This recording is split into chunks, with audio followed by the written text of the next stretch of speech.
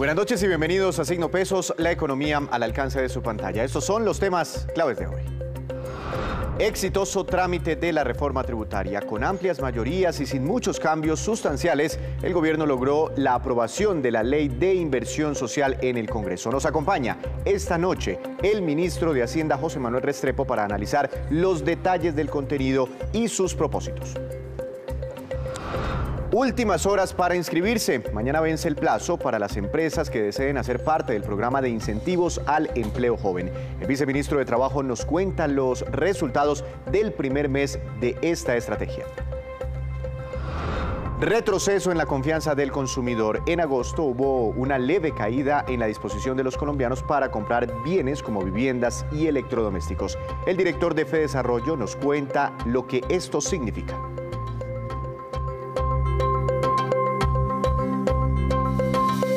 Comenzamos esta emisión de Signo Pesos hablando de un tema clave, muy importante para el gobierno nacional, para las finanzas públicas y que anoche fue aprobado de manera exitosa en las plenarias tanto de Cámara como del Senado de la República. Por eso le quiero dar la bienvenida al ministro de Hacienda, el doctor José Manuel Restrepo, para hablar de los últimos cambios que tiene este proyecto de ley de inversión social o reforma tributaria, como muchos lo conocen. Ministro, bienvenido a Signo Pesos, gracias por estar aquí nuevamente. Buenas, Víctor, un saludo muy especial a usted y a todos los televidentes de Signo Pesos. Es muy grato estar con ustedes. Mm, para nosotros también es muy grato, ministro, para que nos explique detalles de lo aprobado anoche. ¿Qué es lo más importante para el gobierno nacional de, de lo que fue aprobado en el Congreso de la República? Yo creo que el corazón, la esencia de este proyecto de inversión social es atender a los más vulnerables. Es que este es un proyecto que nos va a permitir, junto con otros programas sociales, beneficiar a 29 millones de colombianos, más de la mitad de la población de este país, y atendiendo las necesidades que empáticamente descubrimos en los diálogos regionales, en la construcción de los consensos, las necesidades de esas mujeres y familias que necesitan recursos de una renta básica de emergencia para llegar a 4 millones de hogares, las necesidades de los jóvenes vulnerables que necesitan tener acceso a la educación superior de forma gratuita, permanentemente. También el interés de generar empleo, empleo juvenil, empleo para mujeres, empleo para tantas personas que perdieron sus oportunidades laborales y sobre todo la posibilidad de apoyar también al micro y al pequeño empresario con un subsidio a la nómina. Para mí esto creo que es lo más importante, empleo, microempresa, renta básica de emergencia, apoyo a los más vulnerables de este país. Ministro, ¿por qué se aprobó tan rápido ayer? La ponencia se presentó antenoche y anoche ya estaba aprobada en Cámara y en Senado. Por eso algunos congresistas que no hacen parte de la coalición del gobierno y son de pronto de la oposición o partidos independientes, pues se quejaron, inclusive se levantaron y no discutieron, no aprobaron este, este proyecto. ¿Por qué tanto afán, según lo que dicen muchos? No, esto no es un tema de afán. Yo lo que creo es que esta es una reforma que, como lo dijimos al inicio, es relativamente simple y sencilla. Es que es una reforma que al final son 55 a 61 artículos. Lo presentamos en segunda ponencia en 55 artículos.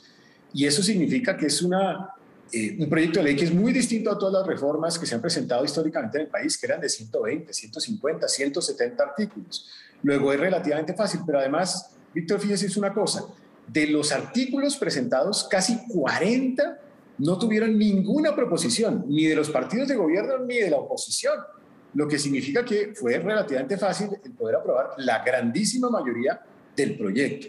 A mí me parece que eh, esta es una iniciativa que va en la dirección de poder contribuir a lo social y yo creo que todos los colombianos sabemos, entendemos que lo social no espera, que no puede dar espera la matrícula gratuita en educación superior, que no da espera el apoyo del ingreso solidario, que no espera tampoco los subsidios a la nómina para el microempresario de este país lo social no espera en este instante.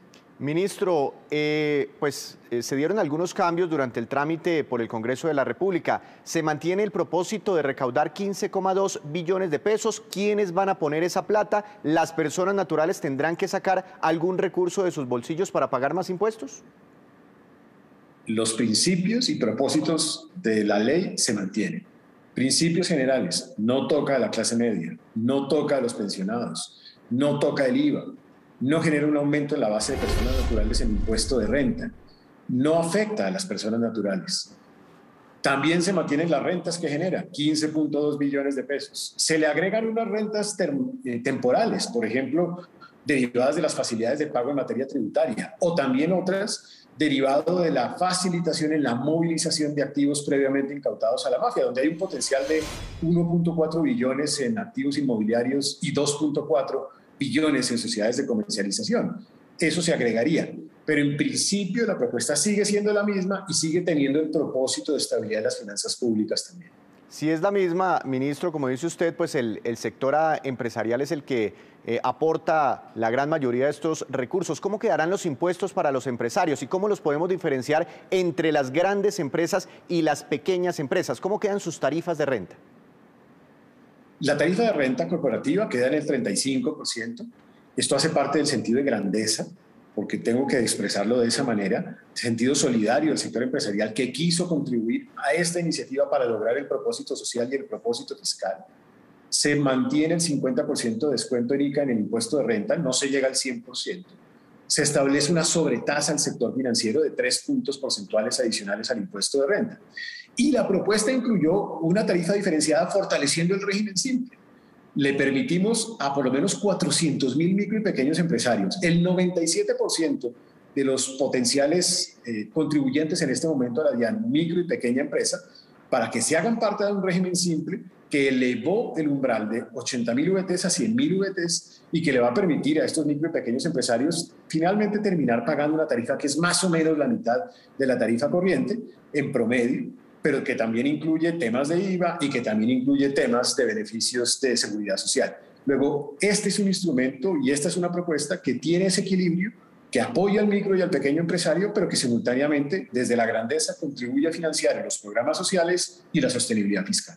Eh, ministro, entre el primer debate y el segundo, que fue el que culminó anoche, eh, los bares y los restaurantes proponían un alivio, que se mantuviera un alivio eh, por un tiempo más para que eh, no se tuvieran que pagar los clientes de estos establecimientos impuestos como el IVA y el impuesto al consumo. ¿En qué quedó al fin esto? ¿Hay algún incentivo, alguna ayuda adicional? La hay, la diseñamos de tal manera que pudiéramos beneficiar a los más, más afectados, que tuviéramos ese sentido de progresividad, ese micro y pequeño bar, restaurante, discoteca para esos micro y pequeños empresarios se les da la oportunidad de acceder a un régimen simple, que puede ser incluso de forma temporal, con ventas de hasta 3.500 millones de pesos. Eso incluye incluso hasta medianas empresas, para las cuales no habrá impuesto al consumo y no habrá IVA. Y esos empresarios tendrán que reportar esos ingresos con base en lo que den en el año 2021, que muy seguramente será no tan alto como resultado del impacto de la pandemia pero tendrán la enorme posibilidad del impoconsumo en cero y del IVA en cero. Yo creo que eso es una oportunidad valiosa en este instante. Antes de usted de ser el ministro de Hacienda, venía de la cartera de turismo, bueno, industria, comercio y turismo. ¿Hay algún beneficio para las empresas del sector turístico que pues todavía, aunque ya se ha reactivado mucho eh, este sector, pues cargan un, un, pesado lastre por, por la pandemia, ministro? Es uno de los sectores que viene incluso mucho más rezagado porque evidentemente el intercambio, el flujo de turistas internacionales es muy limitado todavía como resultado del impacto de la pandemia y los temores mismos de las variables nuevas, etc. Entonces, para ese sector lo que hicimos fue extender los beneficios que contemplaba la ley de turismo eh, para el año 2021, que se extienden al año 2022. Vale decir, eh, la eh, exención de IVA para los servicios hoteleros, incluye parques temáticos, eh, incluye en general todos los actores de la cadena turística y también el beneficio de la reducción de IVA en los tiquetes aéreos, que yo siento es otro instrumento también de apoyo a este sector en particular.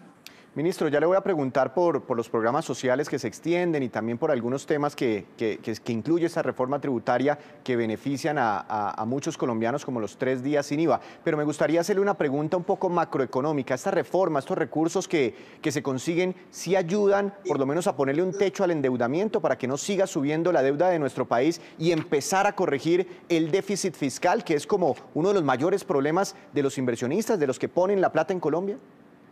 Es el tercer pilar del proyecto de inversión social. Yo lo llamo la sostenibilidad de las finanzas públicas. Y en ese marco de la sostenibilidad de las finanzas públicas, ¿qué incluimos? Primero, más independencia técnica y operativa al Comité de Regla Fiscal, muy importante. Segundo, reinstaura de nuevo lo que estaba suspendido, que es la regla fiscal. Pone un compromiso de un tope máximo de la deuda pública respecto del PIB totalmente nuevo, porque en el país en el pasado eso no se exigía. Aquí va a haber una exigencia en tal sentido. Y tiene mecanismos de corrección automática cuando se necesite enfrentar un eh, fenómeno coyuntural como el que enfrentamos como resultado de esta pandemia, basado en las buenas prácticas del Fondo Monetario Internacional. Pero el recaudo que logra esta, este proyecto permite lograr reducir el déficit fiscal a más o menos 2.7% en los próximos años, generar superávit fiscal primario entre el 2024 y el 2025 y reducir y estabilizar la deuda pública al 61-62% del PIB. Logra, en síntesis, un ajuste gradual y ordenado de las finanzas públicas del país. Aprobada esta reforma, eh, ministro, eh, está completamente financiado el presupuesto general de la Nación del próximo año, que también cursa por el Congreso de la República? Así es, y de hecho incluso el, el, proyecto de presupuesto general de la Nación incorpora las adiciones y también los gastos sociales que contempla este proyecto de inversión social. Quiere decir que ese presupuesto ya tiene, una vez surta la conciliación y surta la aprobación de esas conciliaciones y se dé la firma por parte del señor presidente de la República, tendríamos ya un capítulo que permitiría eh, la financiación completa y algunos gastos sociales y inversión social en el presupuesto general de la Nación del año 2022. Ministro, eh, las anteriores reformas tributarias tenían eh, una especie de válvula de escape, por decirlo así, eh, para aquellas personas que quisieran normalizar su situación tributaria, esos que utilizan, no sé, triquiñuelas para esconder activos en el exterior, para evadir impuestos en Colombia. ¿Esto trae algo en ese sentido, esta nueva reforma? Hay, un capítulo de normalización tributaria, pero con un mensaje. Nosotros ya tenemos eh, intercambio con más de 121 destinos fiscales. Estamos encima de esos capitales. Esta es la última invitación, incluso con una tarifa superior a todos los otros procesos de normalización, con anticipo en pago para que se dé la normalización de esos capitales que no han tributado y que están en el exterior y que con ellos pues, seguimos contribuyendo a las necesidades fiscales de Colombia. Ministro, vamos a hacer una pausa muy corta y ya regresamos con usted para conocer los detalles adicionales de esta reforma tributaria. Así que los invitamos a que nos esperen unos segundos porque hablaremos de los programas sociales, de los tres días sin IVA, de otros beneficios para los colombianos. Enseguida aquí en Signo Pesos.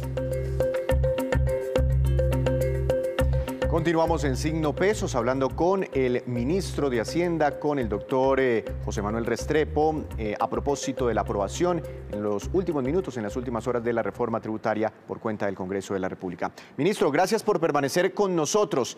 ¿Cómo es eso de las multas? Amnistía para quienes deben multas de tránsito.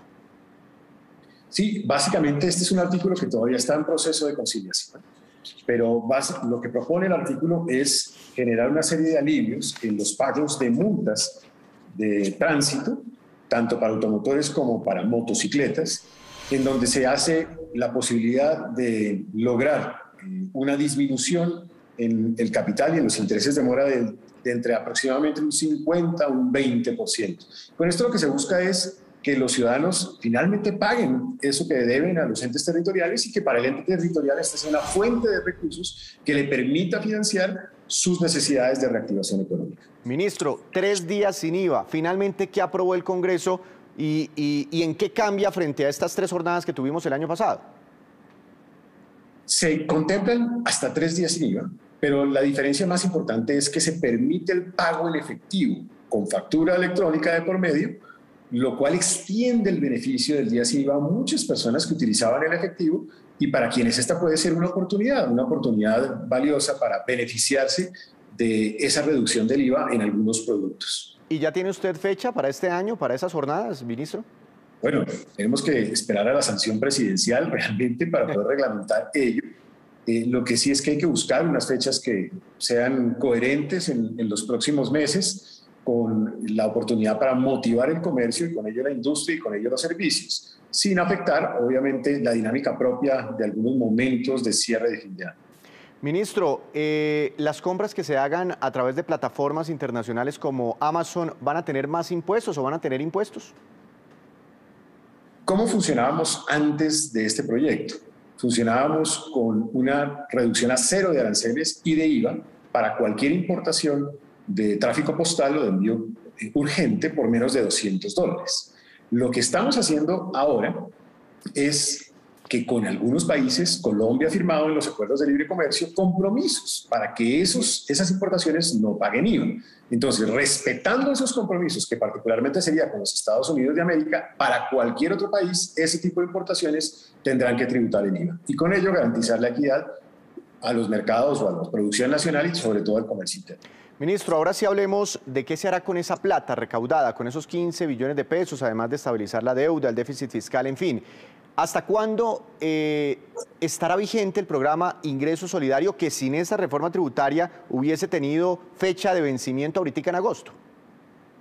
Está programado para poder operar con el recurso que se tiene disponible hasta diciembre del año 2022. Con ello aspiramos a atender 4.1 millones de hogares, 14 millones de colombianos, con una renta básica de emergencia. También incluye recursos para la matrícula cero o gratuita en educación superior, 700 mil jóvenes. Se beneficiarían de esa oportunidad de acceso a instituciones de educación superior oficiales. El apoyo a los empleados, eh, a la generación de empleo juvenil y también de hombres, mujeres, personas en situación de discapacidad, generando 700 mil empleos con un subsidio que cubre los costos de seguridad social.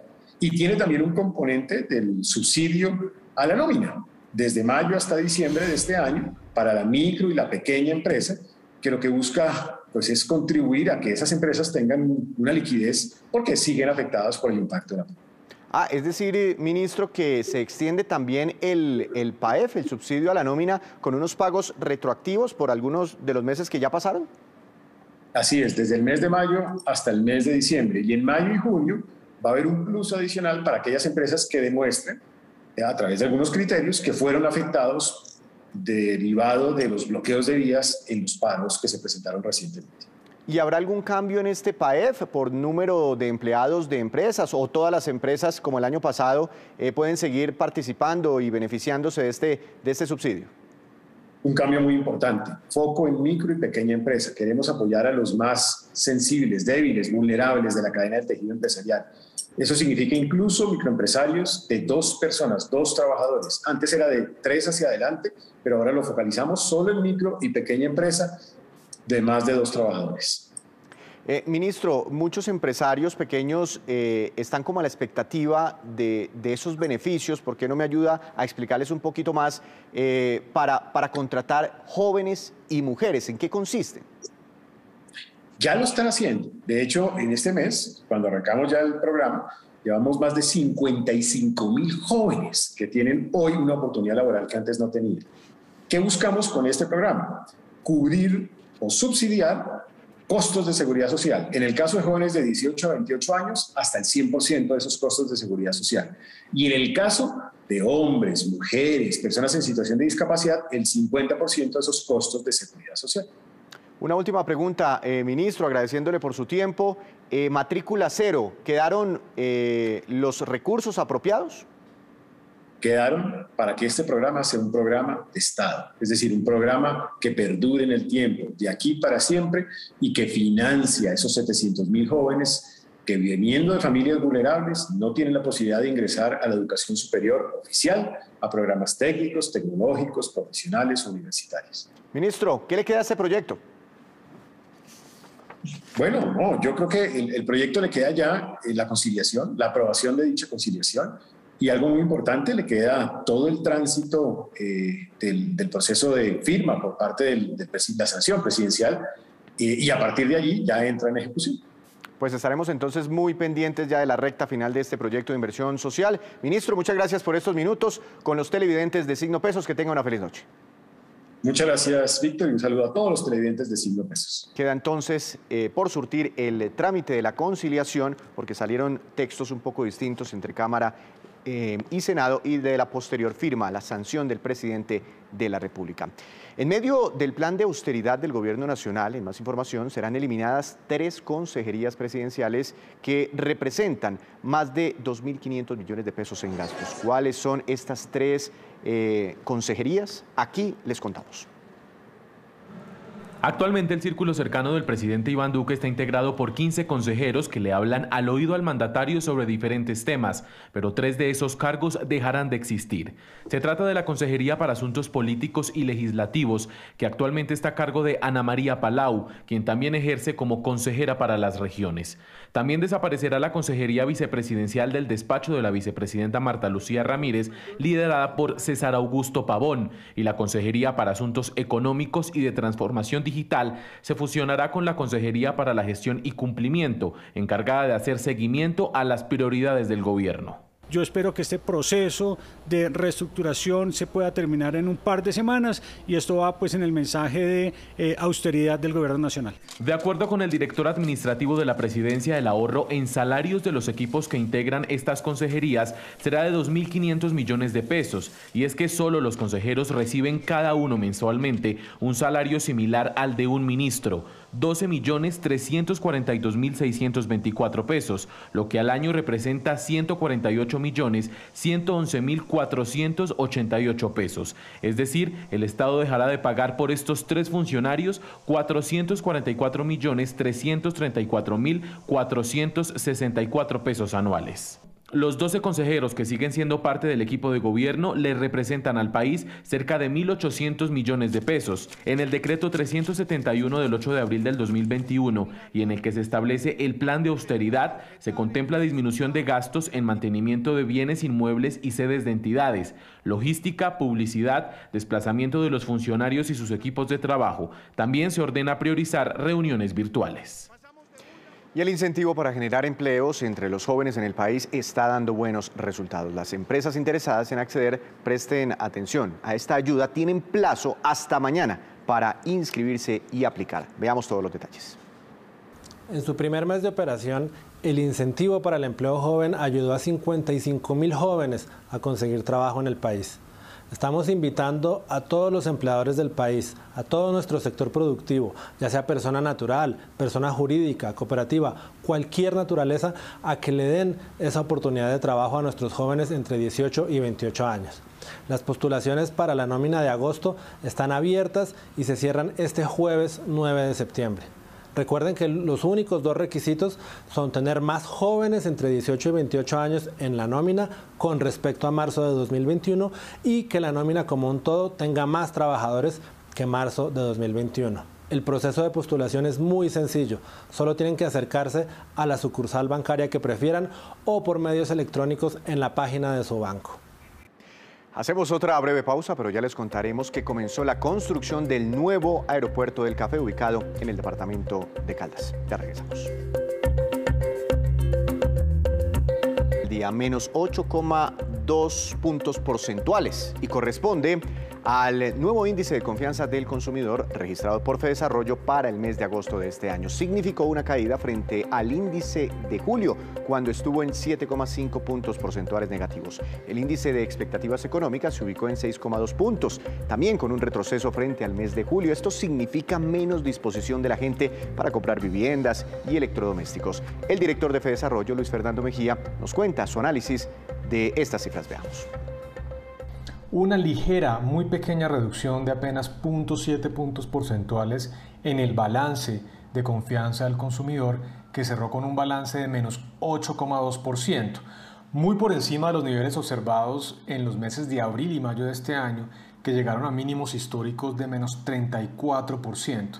Si bien entonces estamos viendo una pequeña disminución frente al mes de julio, los valores continúan muy por encima de los observados durante la pandemia y se acercan a los valores observados antes de la pandemia, especialmente en el año 2019. Esto es una buena señal en términos de que estas cifras indican que continúa la recuperación económica, la recuperación de la actividad productiva y seguramente en lo que resta de este año continuaremos viendo cifras importantes en materia de confianza del consumidor en línea con la recuperación del consumo y de la demanda privada que estamos viendo en el país.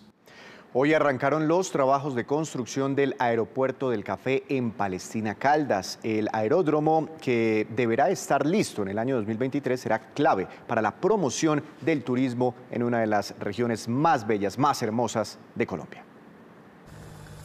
Con 41 máquinas inició la remoción de tierra, después de nueve años de estar paralizadas las obras, en los siete terraplenes necesarios para construir la primera fase del aeropuerto del Café.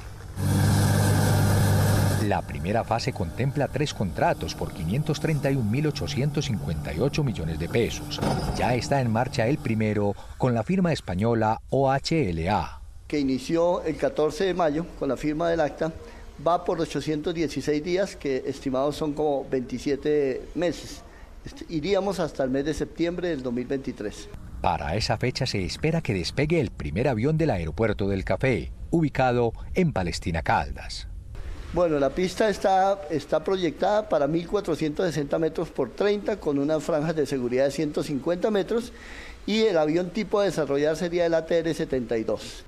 El interés del gobierno nacional en la construcción de la obra es total, a través de comités fiduciarios, para constatar los trabajos y la presencia de maquinarias en el terreno de Aeropalestina.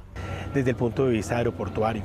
Nosotros estamos aquí haciendo permanentemente seguimiento. Este es el segundo comité en el cual tengo la oportunidad de participar. Y también estamos yendo a socializar con todas las comunidades pues los posibles impactos negativos que van a tener. Todo proyecto de infraestructura lo tiene y por eso presentamos y tenemos aprobado un una licencia ambiental del proyecto para mitigarlos. El aeropuerto del Café fue declarado como proyecto de importancia estratégica para la nación, con un aporte del gobierno central del 85% de los recursos. Hoy se realizó de manera virtual la instalación del diálogo de alto nivel sobre acción climática en las Américas, de la que Colombia hace parte. Allí intervino el presidente Iván Duque. José Miguel Polanco nos dejó ese reporte sobre lo anunciado en este foro. José Miguel. A esta reunión de alto nivel asistieron jefes de Estado de Centroamérica y Latinoamérica, entre ellos de Paraguay, Panamá, Perú y Colombia. Además estuvo presente el secretario general de las Naciones Unidas, Antonio Guterres, como también el enviado especial de los Estados Unidos para el clima, John Kerry, quien anunció una donación importante de ese país para combatir el cambio climático y lanzó fuertes críticas contra el gobierno de Donald Trump por no haber hecho esta donación durante su gobierno. Por su parte, el presidente Iván Duque pidió soluciones financieras a todos los organismos económicos del mundo para ponerle frente a esta problemática. Escuchemos. Tenemos planes para aumentar nuestra asistencia para las energías renovables para América Latina y el Caribe por el esfuerzo regional liderado por el presidente de Colombia para aumentar la capacidad energética al menos 70% en toda la región para el año 2030, a través de las iniciativas como la reducción de las emisiones.